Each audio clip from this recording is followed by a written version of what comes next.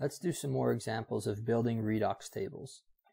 So remember what we're doing here is we're taking data from experiments and we're turning it into a redox table that lists the relative strengths of oxidizing and reducing agents. Let's start with this example. A student places single drops of cadmium 2 nitrate, mercury 2 nitrate, and platinum 2 nitrate solutions separately on a chromium metal strip.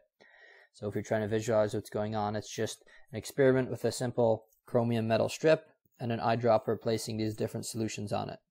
The student observed a spontaneous reaction for each test. With further experimentation, the student found that a platinum 2 solution reacts with mercury metal, but cadmium 2 and chromium 3 do not. The student also found that the platinum 2 solution reacts with cadmium metal. Use this data to construct a reduction half reaction table. So I have the outline of the table done for you here.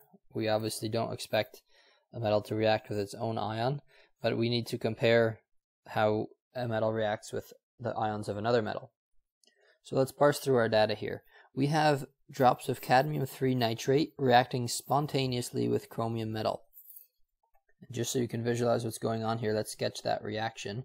That is just a nitrate with a cadmium metal. So this is an ionic bond, and it's cadmium 2, so we'll need two nitrates. This is reacting spontaneously with chromium solid. So obviously what's being produced, this is a single replacement reaction. So we're turning this into chromium nitrate. And chromium prefers a 3 plus charge. And then we're going to have cadmium metal beside it. So we could quickly balance this with two of these and three of these. And then we're also going to need three of these and two of these. Now I'm not going to draw this reaction out for each and every one. I just want you to know completely what's going on. It's just a single replacement reaction. And in this case, it was spontaneous. So this reaction happens when you do it. So that means that the cadmium ion, since it was cadmium nitrate, reacts spontaneously with chromium solid. So we can fill an S in this box in our table. So similarly for the other two, mercury 2 nitrate is the mercury ion and it reacts spontaneously with the chromium metal. So this is also a spontaneous reaction. And the third one of that sentence was platinum 2 nitrate also reacts spontaneously with chromium. Then we have to skip through to some more data. So the next piece of data is that a platinum 2 solution reacts with mercury metal. So that would be the platinum 2 ion spontaneous with mercury metal. Cadmium 2 and chromium 3 do not react spontaneously with mercury metal, so these two are non-spontaneous. And lastly, the student also found that platinum 2 solution reacts with cadmium metal. So platinum 2 ion reacting with cadmium metal. So you'll notice we've exhausted what it said in our paragraph. We've exhausted what the student actually did in this experiment, but we still haven't filled out our table completely. But we can find the rest of the data just by thinking about it. Let's look at this blank, for example, in platinum with cadmium ions. So we have a similar reaction to this one where we react platinum ions with cadmium solid. So that would be this one over here. How are those two similar? Well, it's the same two metals, it's just that you switch which one is as an ion and which one is a metal. Well, if the platinum ion reacted spontaneously with cadmium metal, then it's not going to be spontaneous to go the other way around because that's just the same reaction in the opposite order. So this one we can say is non-spontaneous. Just to verify what I'm talking about, let's look at this reaction equation that I drew out over here. If this is spontaneous with cadmium ions reacting with chromium metal, then going in the opposite way from chromium ions reacting with cadmium metal is going to be non-spontaneous. It can only be spontaneous in one direction or the other. So that lets us fill out this one on our chart in the same way. Let's keep looking at the blanks we have left. So our mercury ion with the cadmium metal.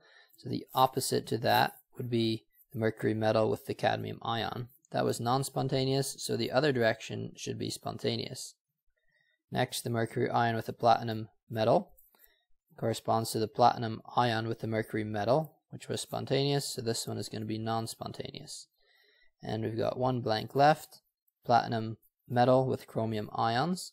So that corresponds with the chromium metal with the platinum ions, and that was spontaneous. This one is going to be non-spontaneous. So we've completed our chart and it's color coded so that green is what the student actually figured out by a reaction and blue is what we deduced from that. But we were asked to construct a reduction reaction half reaction table. So we know that a redox half reaction table should start with the strongest oxidizing agent on the top left and end with the strongest reducing agent on the bottom right. So the strongest oxidizing agent means the thing that is most likely to itself be reduced. So remember that reduction is a gain of electrons. So we start with a positive ion, we gain electrons to form a metal. So let's look at which ion is the most likely to be reduced or to be an oxidizing agent. Well, you'll see that the platinum ion reacts with every single metal possible. So that is, in our case, going to be the most spontaneous, the strongest oxidizing agent. So let's write that reaction down. We've got platinum 2 plus, and if that's going to form platinum metal, it's going to need to gain two electrons to do that. Our next best at being reduced is going to be the mercury ion, because that still reacts with two things spontaneously. So that's going to be a similar reaction. It's going to be mercury 2 plus. It's going to have to gain two electrons to become mercury solid. Next best is cadmium ion, only reacts with one metal. So that would be cadmium 2 plus. Also has to gain two electrons to, to turn into cadmium solid. So finally what's last left is chromium, chromium 3 plus, which didn't react with anything spontaneously in our list, but would have to gain three electrons in order to become chromium solid. So this is saying that our strongest reducing agent should be this chromium solid.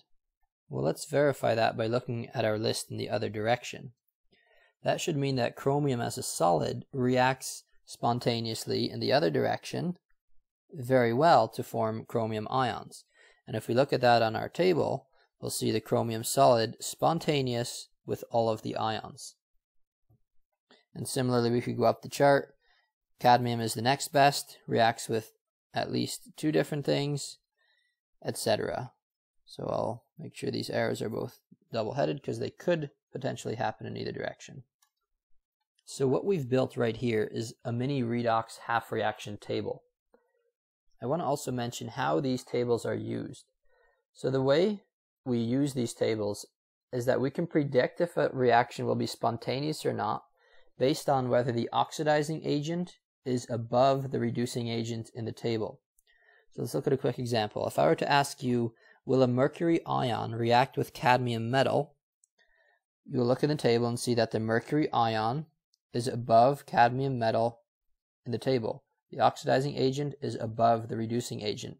So you could say, yes, that will react.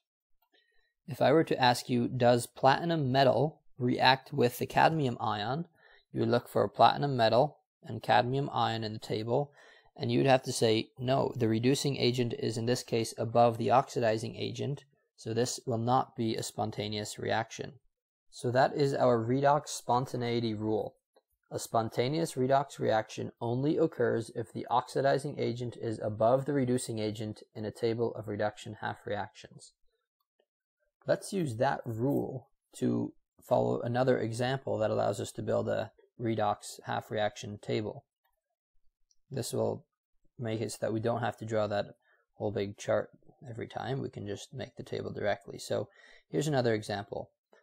Four metals are combined with each of four solutions of cations. The following reactions represent evidence collected. So we have two reactions that were spontaneous. We have two that were non-spontaneous. There is no evidence of reaction. So what we're going to do is we're going to label the oxidizing and reducing agents, and then we're going to go based on the fact that we know if it was spontaneous, that the oxidizing agent has to be above the reducing agent. So let's look at this first one. We've got beryllium solid and cadmium 2 plus. Well, if we were going to label first the oxidizing agent, we know the oxidizing agent is itself reduced, it gains electrons, so that would be this cadmium 2 plus. Whereas the reducing agent, agent is itself oxidized, that would be this beryllium metal here. So the fact that this reaction was spontaneous tells us that the oxidizing agent, cadmium 2 plus, has to be above the reducing agent agent in our table. So cadmium 2 plus has to happen somewhere above beryllium solid. Now we know this equation is going to look like this. So we can say, in short, that cadmium has to be above beryllium on the table. So similarly, this in the second reaction, we have H plus as our oxidizing agent, and we have cadmium solid as our reducing agent. So now our new piece of information is that H plus has to be above cadmium on our table. So let's slide cadmium down there to make room. We know H has to be above there on our table. And let's also get information from the two non-spontaneous reactions. So beryllium in the next reaction would be the reducing agent, because that's the solid, and that would have to uh, lose electrons and itself be oxidized. So uh, calcium 2 plus would be the oxidizing agent there. And let's label the last one as well, to H plus, that would be the oxidizing agent, and copper solid would be the reducing agent. And now let's interpret for our table. So the fact that there is no reaction between calcium ions and beryllium metal means that the oxidizing agent was not above the reducing agent. In other words, the oxidizing agent had to be below the reducing agent.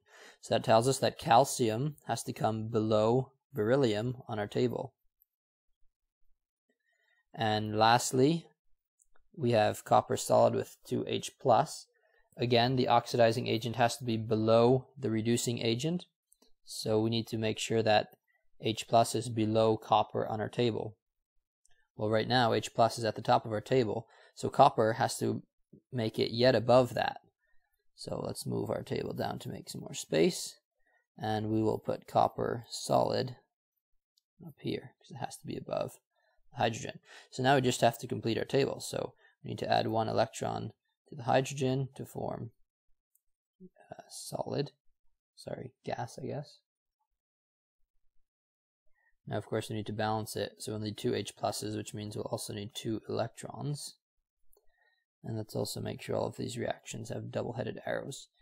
For copper, we start with copper 2 plus. We add two electrons to form copper solid. For beryllium, we also start with beryllium 2 plus. We have to add two electrons to form beryllium solid. Calcium also starts as 2 plus adds two electrons to form calcium solid. So that was a little easier. We now used our rule, the fact that we know, based on whether a reaction is spontaneous, whether the oxidizing agent or the reducing agent has to come above in the table, and we've built our table from there.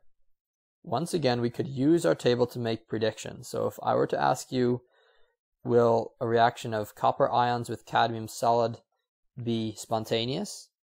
you would find copper ions, cadmium solid on the table. You would say, since the oxidizing agent is above the reducing agent, that yes, that would be spontaneous. Similarly, I could ask you if hydrogen would react with calcium ions. Find calcium ions and hydrogen, and then you would say, no, our oxidizing agent is below the reducing agent, so it will not be spontaneous.